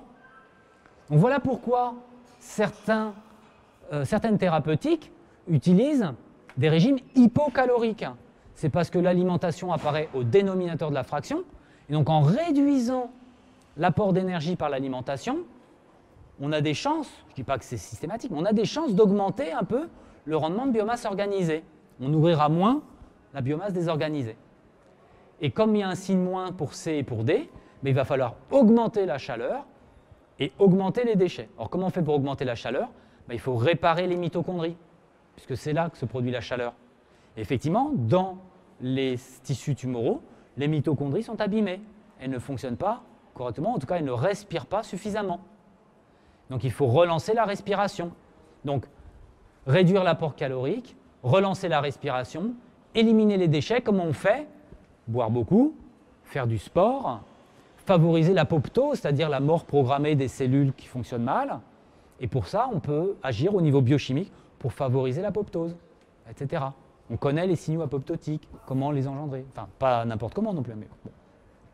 Donc voilà, on a une petite fraction qui, de manière extrêmement naïve, découle du bilan énergétique et nous donne déjà des pistes. Et de fait, certaines thérapeutiques les utilisent. Donc, diminuer l'alimentation, jeûne thérapeutique, ce, qui s'appelle régime cétogène hypocalorique, c'est important. Dans son livre, Thomas Seyfried, qui est biochimiste, euh, et qui a fait des expériences sur les souris, dit très précisément que si vous donnez à manger les meilleures choses du monde, mais en quantité quelconque, à des souris qui ont des tumeurs, ça n'aura pas l'effet escompté. Il faut donner les bonnes choses, mais en quantité limitée. Et un régime hypocalorique, dans ce cas-là, c'est réduire euh, des trois quarts. On ne prend que 600 calories ou 500 calories pour un adulte, hein, alors qu'on est à 2400-2500 par jour. Donc c'est vraiment restreint, c'est un, régime, il faut un nutritionniste, ça ne se fait pas euh, comme ça. Hein. C'est un certain travail. Voilà, alors réparer les mitochondries. Il y a des médicaments qui relancent la respiration dans la mitochondrie. Je vais en citer quelques-uns, sans entrer dans les modes d'action, dans le détail biochimique que je ne connais pas, mais au moins on sait qu'il y a des molécules qui sont non toxiques, qui permet de relancer la respiration cellulaire. Éliminer les déchets, détoxication, le sport, l'activité physique. Il ne faut pas être sédentaire. Il faut éliminer par la sueur, il faut éliminer avec un bon transit intestinal, etc. Tous ces moyens, en fait, c'est éliminer l'entropie, éliminer le désordre. Donc ce que j'ai présenté comme étant un problème de rendement, on peut parler d'entropie. J'aime pas trop utiliser le terme d'entropie en biologie parce qu'on marche sur des œufs, mais en tout cas, c'est éliminer des déchets. Et c'est le principe fondamental du maintien de la vie. On doit éliminer l'entropie. Allez lire le petit livre d'Erwin Schrödinger qui s'appelait Qu'est-ce que la vie? où il vous dit un système vivant se maintient le plus loin possible de l'équilibre thermodynamique en éliminant sans cesse l'entropie. C'est simplement ça. Sauf qu'il se garde bien d'écrire la moindre formule d'entropie, parce qu'on ne peut pas dans ce cas-là. Alors, éliminer l'entropie. Ah, un point important, l'eau métabolique. Je vous ai déjà dit, si vous menez la respiration jusqu'au bout, vous fabriquez de l'eau métabolique, H2O plus CO2, et vous diluez les déchets. Si vous arrêtez à la fermentation, à la glycolyse, il n'y a pas assez d'eau métabolique, vous ne diluez pas suffisamment les déchets. Et puis, vous concentrez aussi les radicaux libres. H2O2, c'est le peroxyde d'hydrogène, c'est le principe actif de l'eau oxygénée. Euh, H au point, c'est extrêmement réactif. Dans la seconde, ça va piquer un électron euh, au premier venu. Et O2-, l'ion oxygène, qui n'est pas du tout stable, pareil, qui va être extrêmement réactif et qui va abîmer le génome, les protéines et tout ce qui traîne, euh, tout ce qui arrive dans, le quartier. Et en fait, le vieillissement, avec l'âge, on voit que la peau est déshydratée. Le vieillissement, c'est une baisse du rendement métabolique et donc une euh, baisse de la production d'eau métabolique et une déshydratation. Donc il faut favoriser le métabolisme pour euh, ne pas vieillir trop vite. Et la chaîne respiratoire, alors sans entrer dans le détail moléculaire de la chaîne respiratoire, elle ne fonctionne pas de la même manière. Parce que la membrane est abîmée, parce que les molécules elles-mêmes sont abîmées, ou en moins transformées. Et on voit qu'il y a, ne vous inquiétez pas, ça va revenir dans quelques secondes. Voilà, hop. Donc, problème de transfert d'électrons jusqu'à l'oxygène. Bon, armé de ces idées-là, quelles sont les pistes thérapeutiques? On a vu déjà que, retenez déjà entre les deux types de courses, le coureur de 800 mètres, le coureur de marathon. Déjà, si vous avez ça en tête, vous avez une idée essentielle. Donc le cycle de Krebs, j'en ai parlé ça va fabriquer des ions H+, des électrons, etc., qui vont rentrer dans la chaîne transport électronique. Je ne vais pas rentrer trop dans le détail. Ça fait des radicaux libres, mais on peut traiter les radicaux libres, c'est-à-dire les absorber avec certaines molécules. Euh, il y a des molécules très simples, hein. il va me rendre l'écran dans quelques secondes. Il y a des molécules très simples, comme le dioxyde de chlore ou le bleu de méthylène, qui favorisent la respiration cellulaire. Je ne vais pas vous donner des doses ou des protocoles, etc. C'est testé par des malades, ça. C'est-à-dire qu'il y a des patients qui disent aux médecins Ah, mais moi, en plus de vos médicaments, je prends ça, je prends ça, je prends ça, parce que j'ai compris que ça favorisait la respiration cellulaire, etc. Et on observe qu'effectivement, ils vont mieux en prenant certains types de médicaments. Respirer, respirer, respirer. C'est des molécules non toxiques, à faible dose, bien sûr. Toute molécule devient toxique à haute dose. On connaît les doses où elles sont non toxiques, on connaît leurs interactions, donc on sait avec quoi ne pas les mélanger.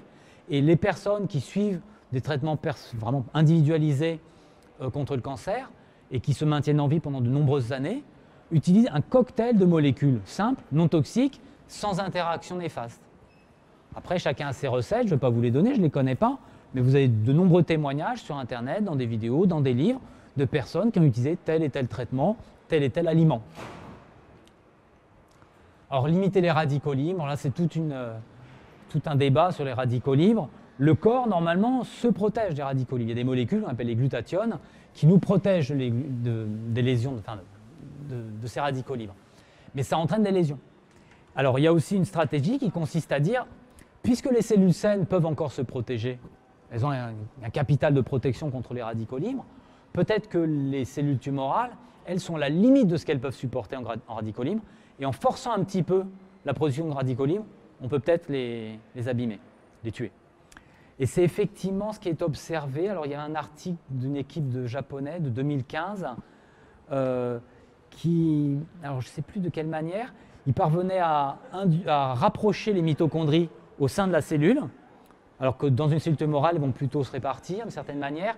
Et à un moment, je ne sais plus par quel moyen, il parvenait à faire se rapprocher et à fusionner les mitochondries. Et en fusionnant la production de radicaux était tellement élevée que la cellule claquait. On peut induire ce phénomène apparemment aussi avec de l'oxygène hyperbare. Euh, en Floride, à Tampa, c'est euh, Dominique D'Agostino, qui est physiologiste et qui est plongeur aussi, et qui utilise l'oxygène hyperbare pour les patients avec des protocoles précis qu'il connaît, qu'il a mis au point par ses connaissances en plongée. Il sait qu'on va pouvoir utiliser l'oxygène hyperbare de telle et telle façon et induire la mort des cellules tumorales. il a dit effectivement, on observe, il met son microscope dans le caisson hyperbare, donc ce n'est pas forcément le patient, mais c'est le microscope avec les échantillons, et il filme en temps réel, sous pression d'oxygène élevée, euh, le comportement des cellules tumorales. il dit on les voit éclater. Donc après, il faut mettre au point un protocole pour utiliser l'oxygène hyperbare. Ce n'est pas une arme fatale, ce n'est pas le magic bullet, il n'y a pas de magic bullet, mais ce sera une des nombreuses armes dans la guerre contre le cancer. Voilà. Voilà, ce que je disais, un excès temporaire et limité de radicaux peut aussi porter le coup de grâce aux cellules tumorales, à, explorer. C'est les travaux de Dominique D'Agostino que vous pouvez retrouver dans la littérature. Et voilà. Euh, donc favoriser la respiration cellulaire. Est-ce qu'on pourrait faire carrément un transfert de mitochondrie Ça, c'est un rêve. Hein. carrément amener des pièces détachées, carrément la mitochondrie entière.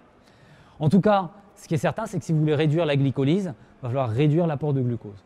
Parce que souvenez-vous du marathonien, il s'entraîne à utiliser les lipides. Je ne sais pas s'il y en a parmi vous qui ont déjà essayé de courir plus de 30 km, mais au bout de 30-35 km, votre foie cesse de libérer le glycogène. Les réserves de glycogène arrivent dans le rouge. Et il doit utiliser les réserves restantes pour le système nerveux central. Donc on a un système d'alerte qui nous dit stop, plus de glycogène à transformer en glucose pour le sang et pour les muscles. Ça veut dire maintenant les muscles, vous vous débrouillez tout seul. Et l'entraînement du marathonien consiste précisément à faire des réserves de lipides dans les muscles pour pouvoir utiliser des lipides à la place du sucre. Alors c'est moins efficace, ça va moins vite, mais un marathonien bien entraîné voit presque pas la différence lorsqu'il passe le mur et qu'il utilise les lipides majoritairement. Mais c'est très difficile, la course commence au 35e kilomètre en fait. Les 35 premiers kilomètres, vous êtes content, vous avez de l'énergie, ça vient du foie, tac, tac, tac, vous avez tout brûlé. Au bout de 30-35 bornes, moi j'avais un copain, c'était à 25 bornes, le pauvre, donc il avait 17 kilomètres, c'était très très dur pour lui. Euh, bon, et puis un bon entraînement, ça vous permet euh, peut-être d'aller moins vite au début et de mieux étaler l'utilisation de vos réserves de glycogène.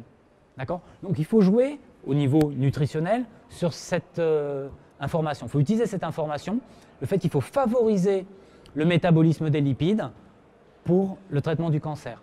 Et de fait, les traitements cétogènes, les régimes cétogènes hypocaloriques, utilise à peu près 5% de glucides, 5% de l'énergie est apportée par les glucides, c'est quasiment rien. C'est les glucides résiduels des légumes. Hein. Si vous n'aimez pas les brocolis, il va falloir vous y mettre. Hein. Voilà. Donc les glucides viennent essentiellement des légumes, il n'y a rien de sucré, ils ne prennent pas de sucre, pas de pain, pas de pâtes, pas de pommes de terre, pas de féculents, euh, pas de céréales, tout ça. suivi par un nutritionniste, hein, ce n'est pas facilement. Je ne dis pas rentrer chez vous, faites ça, c'est très dur. Et par contre, ils vont manger beaucoup plus de lipides en fraction. Et des bons lipides. Pas n'importe quoi, pas des graisses cuites n'importe comment, à haute température, pas des huiles euh, frelatées, hydrogénées, etc., des choses industrielles, que des choses naturelles. D'accord? Donc je ne vais pas vous faire euh, une liste des courses pour ce soir, mais voilà, il faut augmenter l'apport de lipides en proportion. Alors on s'est rendu compte aussi qu'il y avait un acide aminé qui pouvait fermenter, c'est la glutamine. Mais c'est un acide aminé dont on ne peut pas se passer. Il est partout dans toutes nos protéines. Donc, euh, Thomas Seyfried, biochimiste à Boston College, a mis au point un protocole qui s'appelle le protocole Press-Pulse. Press, ça veut dire on va baisser l'apport glucidique en continu, et le corps va apprendre à utiliser les cétones, c'est-à-dire des molécules dérivées du métabolisme des lipides. Et périodiquement, à intervalles réguliers, on va donner un médicament qui va bloquer la glutamine. Et là, il observe que les tumeurs les plus agressives, comme le glioblastome multiforme, cancer du cerveau, les cancérologues l'appellent Terminator, c'est un truc horrible. Eh bien, il parvient à réduire la taille des glioblastomes. Et les, médecins sont effarés parce qu'ils n'ont jamais vu ça. Vous pouvez envoyer les rayons que vous voulez, pouf, ça repart. Vous pouvez faire la chirurgie que vous voulez, pouf, ça repart. Et au bout de 12 mois, vous dites euh, bah, rentrez chez vous, on ne peut plus rien pour vous. L'espérance de vie du glioblastome multiforme n'a pas progressé depuis 100 ans. Les publications des années 20 nous donnaient une espérance de vie, je crois, entre 11 et 14 mois pour les patients atteints de glioblastome. On faisait une résection, on enlevait, on faisait même pas encore de radiothérapie, on n'osait pas trop sur le cerveau à l'époque peut-être, peut-être un peu de radiothérapie, résection, mais on n'utilisait pas de chimiothérapie encore dans les années 20. C'est après la Seconde Guerre mondiale que c'est arrivé. Et ah bah, aujourd'hui, l'espérance de vie d'une personne atteinte d'un glioblastome multiforme, c'est autour d'un an. Ça n'a quasiment pas progressé, pas de manière significative. En presque 100 ans, on n'a pas fait de progrès significatif sur le traitement du glioblastome. Euh, Thomas Seyfried a publié un article il y a un an, en novembre 2018, dans lequel il appelait le corps médical à modifier le standard de soins. Il dit faut sortir du protocole résection, chimiothérapie, radiothérapie, parce que vous allez léser les tissus environnants, vous allez libérer la glutamine, parce que la glutamine et la glutamate sont parfaitement contrôlés dans le cerveau.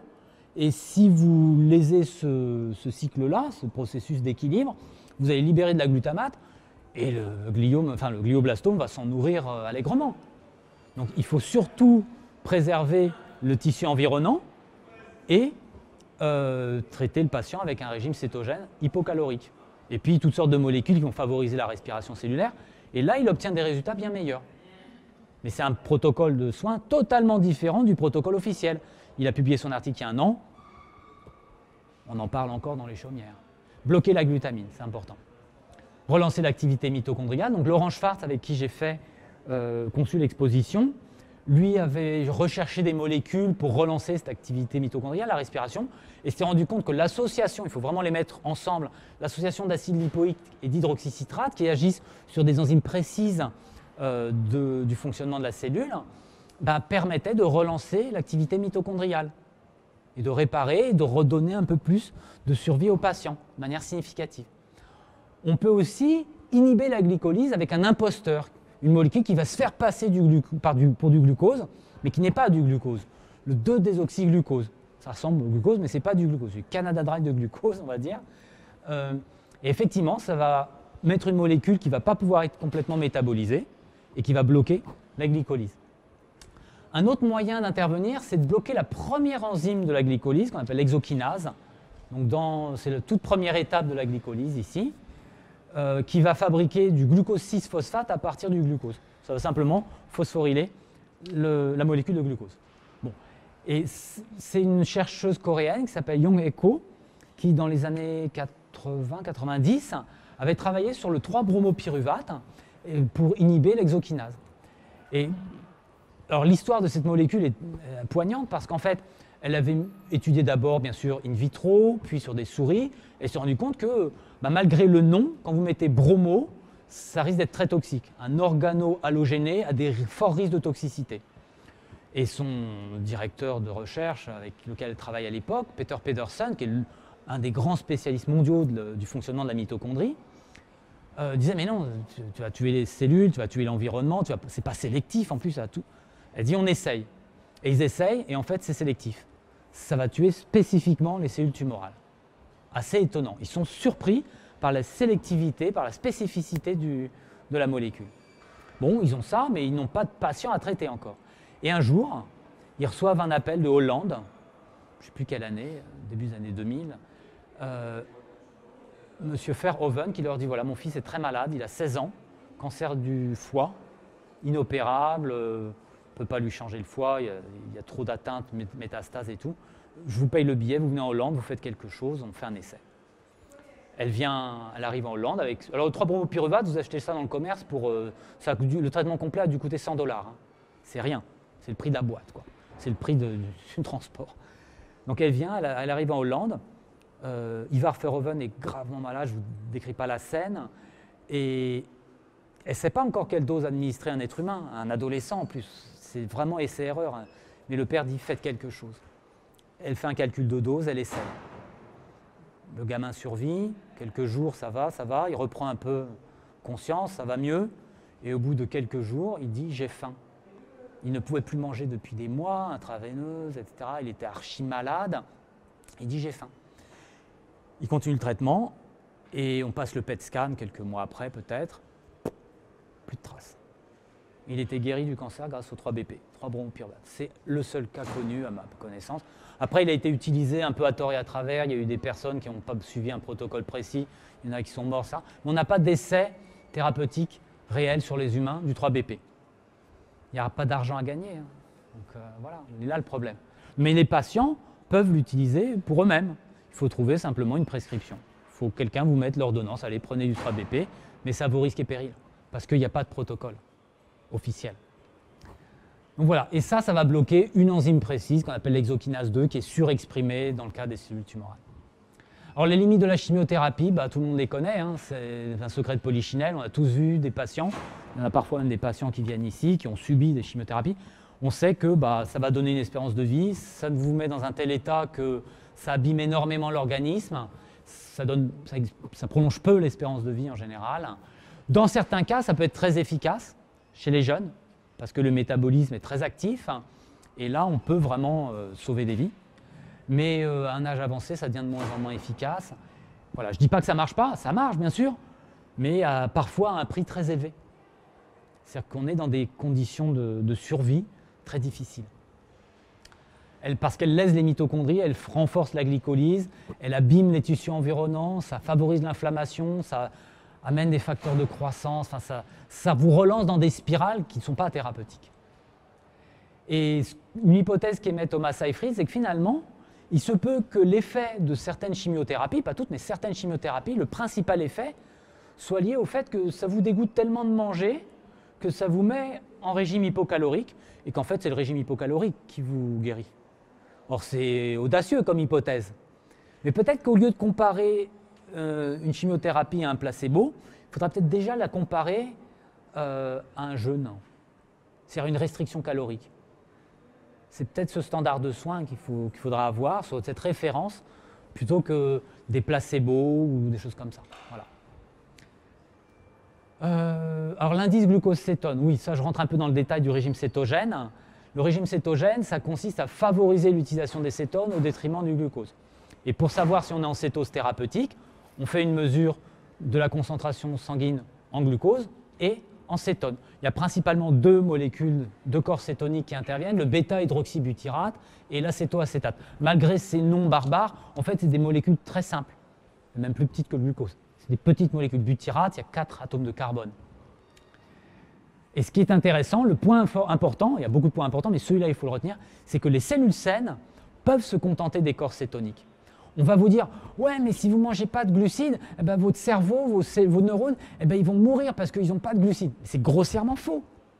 On a été sélectionné pendant des centaines de milliers d'années pour survivre à des périodes de disette. Mettez-vous à la place de nos ancêtres chasseurs-cueilleurs qui n'avaient presque rien à manger en hiver. Ils avaient des petites réserves, ils avaient un petit bourgeon de temps en temps, mais ils n'avaient pas euh, un paquet de chocobéennes euh, dans, le, cartable. Donc, on ne peut pas affirmer que, en absence de glucides, on tombe dans le coma. Il y a des personnes qui supportent plus ou moins bien l'hypoglycémie, je suis d'accord. Mais globalement, l'espèce humaine a survécu dans des périodes de disette, et c'était même un bon moyen de détoxiquer le corps. Parce que c'est ce qui permettait de favoriser l'apoptose, l'autophagie, l'élimination des déchets, etc. Donc les périodes de jeûne intermittent sont bonnes pour la santé. Et manquer de glucides, ce n'est pas une mauvaise chose. Surtout quand on voit les ravages du sucre en général et des glucides, euh, tous glucides confondus même. Et ça doit être hypocalorique, je vous ai dit. Je ne rentre pas dans les détails, mais on se rend compte sur les souris que si vous nourrissez ad libitum avec un régime cétogène, ça ne fonctionne pas. Il faut baisser la fraction calorique. C'est le A de ma fraction tout à l'heure. Et l'indice glucose-cétone, c'est la concentration en glucose divisée par la concentration en cétone. C'est les corps cétoniques dont les principaux sont BHB et acétoacétate. Voilà. Et les effets sont remarquables. La première à avoir testé ça, c'était Linda Nebling. Elle était jeune médecin euh, dans 1995. Elle a publié le résultat de ses expériences. Elle avait deux patients très jeunes, hein, une petite fille de 3 ans qui avait un gliome, je crois, et une petite fille de 8 ans et demi qui avait un autre type de tumeur, je ne sais plus laquelle. Les traitements ne fonctionnaient pas, c'était vraiment en dernier recours. Les parents disent on va essayer autre chose. Et à ce moment-là, elle décide de les mettre sous un traitement qui était plutôt utilisé euh, contre l'épilepsie et qui euh, arrivait à avoir des bons effets sur les patients épileptiques, surtout les jeunes épileptiques. Ça espaçait les crises d'épilepsie et ça atténuait l'ampleur des crises d'épilepsie. Et elle a testé le régime cétogène, hypocalorique déjà à l'époque, sur euh, ces jeunes patients, et dont on a vu l'état de santé vraiment s'améliorer, au grand étonnement des médecins qui utilisaient euh, rayons, euh, chimio, opérations, l'artillerie lourde. Voilà. Alors, perspective thérapeutique, est-ce qu'on peut finalement vraiment couper l'apport de cétone, c'est-à-dire le peu de cétone qu'elle parvient à consommer, est-ce qu'on pourrait vraiment carrément fermer le robinet? C'est une piste thérapeutique. Est-ce qu'on pourrait régénérer les mitochondries? Comment le faire? Par quel type d'alimentation? Tout ça, c'est des recherches en cours. Hein. L'activité sportive, je vous ai dit, l'élimination des déchets. De plus en plus, dans l'approche globale du traitement du cancer, on met dans les hôpitaux des activités sportives, des activités physiques pour forcer les gens à se dépenser. Alors, une recherche qui pour moi est à redémarrer à zéro, c'est l'action des champs électromagnétiques, parce que les recherches qui ont été menées euh, il y a plusieurs décennies n'ont pas été faites de manière sérieuse, mais on peut se poser la question, est-ce que le champ électromagnétique peut rétablir un certain état de fonctionnement correct des mitochondries? L'hyperthermie, on s'est rendu compte que effectivement, les cellules cancéreuses résistent à un stress énorme, mais il suffit parfois de donner le petit coup de pouce, par exemple augmenter légèrement la température pour que là, se dise stop, je ne tiens plus. La tumorigénèse, c'est en deux étapes. Une première étape, c'est l'accumulation d'un stress cellulaire global stress oxydatif, stress euh, génétique, stress euh, protéotoxique, euh, stress thermique, toutes sortes de choses. Et ces différentes formes de stress, si la cellule parvient à mettre sur place des mécanismes de, de survie à ces différents stress, si elle apprend à survivre dans cet environnement stressant, alors elle va devenir cancéreuse.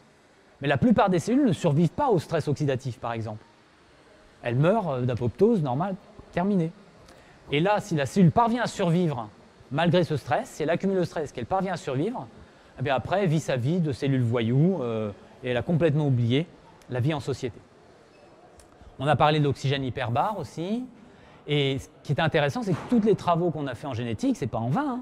c'est que ça permet d'individualiser les traitements. Vous pouvez avoir un traitement métabolique, mais individualisé grâce aux connaissances de votre génome. C'est-à-dire, est-ce que vous digérez mieux ceci que cela? Est-ce que telle enzyme, vous en avez suffisamment ou pas suffisamment? Est-ce que telle substance va être métabolisée en donnant des choses que vous n'allez pas pouvoir éliminer Etc. Donc on va personnaliser le traitement métabolique à chaque patient. C'est pour ça que c'est complexe. Alors conclusion et conclusion de la conclusion même, on a vu que le cancer était une pathologie mitochondriale, que les mitochondries ont un rôle central dans le problème du cancer, et que ça altérait tout le métabolisme de l'écosystème cellulaire. Pas seulement de chaque cellule, mais aussi de la communication entre cellules, tout le métabolisme du corps. Et qu'il y avait une rupture du contrat social. Et qu'il y avait formation de mafias oncobiotiques, c'est-à-dire de cellules qui menaient leur vie et qui pompaient les ressources du corps au détriment de l'organisme complet. Donc c'est un combat multidimensionnel qu'il faut mener, forcément. Il faut agir sur toutes les échelles des électrons, des molécules, de l'ADN, des cellules, du corps, etc. Et même à l'échelle sociale, puisque c'est aussi une maladie sociale. On voit qu'il y a des raisons sociales pour lesquelles le cancer du poumon va diminuer, parce qu'on a une démarche pédagogique, l'information, ou bien l'utilisation de telle ou telle substance va augmenter les risques de cancer dans telle ou telle région, par exemple. Mais retenez une chose, c'est qu'il n'y aura pas de médicament miracle. Quand vous entendez euh, les journalistes vous dire Ah, on a trouvé telle molécule ou telle recherche, tel chercheur a trouvé telle méthode, il n'y a pas. C'est un ensemble d'armes qui vont permettre de progresser. Euh, et c'est ce que font les patients, certains patients en tout cas, qui testent leurs propres molécules, et parfois des dizaines de molécules. Ils font en sorte qu'il n'y a pas d'interaction toxique pour mettre au point leur propre traitement individualisé. Et vous avez remarqué, toute personne qui, a déjà fait un séjour, même cours en hôpital, commence vraiment très très très mal. En fait, il n'y a pas de réflexion sur la nutrition. Et les médecins devraient, enfin le corps médical dans son ensemble, devrait se remettre en question sur ce point-là. Quand vous voyez des patients euh, en service d'oncologie à qui on donne de la purée, c'est un crime. Quand on les met sous intraveineuse en glucose, il faudrait réfléchir, est-ce qu'il n'y a pas d'alternative Parce que là, on est en train de nourrir les tumeurs. La pomme de terre, c'est un indice, la purée pomme de terre, c'est un indice glycémique terrible. hein. Vous favorisez le- les facteurs de croissance associés à l'insuline. Et c'est très mauvais. Il ne faut pas avoir de pic d'insuline chez un patient qui a un cancer. Il faut faire attention aux facteurs de croissance. là. Mais pour ça, il faudrait avoir une vision globale. Et il y a un certain mépris pour la nutrition à l'hôpital. Oh, la nutrition, c'est la cuisine, tout ça. Non, non. C'est fondamental. Et la conclusion de la conclusion, c'est qu'en fait, hein, dans une maison, le foyer, il est dans la cuisine, pas dans la bibliothèque. La bibliothèque, c'est le noyau, c'est là où on a notre ADN, tous nos livres. D'accord Je suis revenu longtemps en arrière. Ah oui, là, ça a tourné. Je reviens. Voilà, j'y touche plus. Donc la bibliothèque, c'est le noyau. D'accord Et la chaudière, le foyer, c'est la mitochondrie. Dans une maison, notre cellule, c'est la maison, on va dire. Il y a le foyer et il y a la bibliothèque. Et dans une maison, euh, on ne vit pas dans la bibliothèque. Le point important, le foyer, c'est la cuisine. Eh bien, dans la cellule, ça va être la mitochondrie. On est d'accord? Voilà, ça c'est une des grandes leçons à tirer de, de cette étude bioénergétique. Et si on étudie le métabolisme du cancer et son évolution à l'échelle des millions d'années, hein, comment il a coévolué avec les métazoaires euh, et les métaphytes aussi, aussi les plantes, eh bien là il devient compréhensible. On comprend globalement ce phénomène. D'accord? Ça ne veut pas dire qu'on va trouver des solutions miracles. C'est-à-dire qu'on a une carte globale du territoire. Et ça, c'est important d'avoir déjà bien identifié l'ennemi globalement, l'avoir cerné pour mieux agir. Et la dernière euh, citation que je vous donne, c'est celle de Theodosius Dobzhansky. Rien ne fait sens en biologie, excepté à la lumière de l'évolution. On ne peut pas comprendre un phénomène biologique aussi complexe que le cancer si on n'a pas une vision évolutionniste, c'est-à-dire dans le cadre de Darwin et ses copains. Voilà. Et si vous voulez lire des choses, ben voilà quelques exemples de livres, de la littérature. Il y en a deux en français seulement. Le livre de Laurent, qui est très bien, très clair, concis, direct. Celui-ci, sur la- l'aspect évolutionniste, hein, théorie de l'évolution. Les autres sont en anglais, après c'est de niveaux techniques variés. Euh, voilà, ça c'est pour les médecins. Celui-ci est très bien, c'est la nutrition aussi. Il faut lire des livres de nutrition pour comprendre que dans notre assiette, il y a à la fois notre pharmacie et puis notre condamnation à mort si on mange n'importe quoi. Merci beaucoup de votre attention. Si vous avez des questions, je suis encore présent, euh, quelques minutes. hein. Tu as une question, Laurent Euh, oui, c'est par rapport. tu n'as pas parlé des vaccins. Est-ce qu'il y a Non. des vaccins euh, Merci. Euh, non, j'en ai pas parlé parce que je n'y connais rien. On peut vacciner contre certains oncovirus, éventuellement, euh, mais ça va être extrêmement spécifique. On peut lutter contre un oncovirus. On peut agir à cet endroit-là. Après, la méthode de vaccination, c'est quand on a un agent pathogène identifié. Et là, il n'y a pas, en dehors des oncovirus, il n'y a pas d'agent pathogène pour, les, euh, pour le cancer. Pour les plantes, c'est des bactéries, on a vu. Voilà, donc là, on pourrait imaginer. Au revoir. On, merci. On pourrait imaginer des vaccins pour ce type d'agent pathogène, effectivement. Voilà, merci à vous.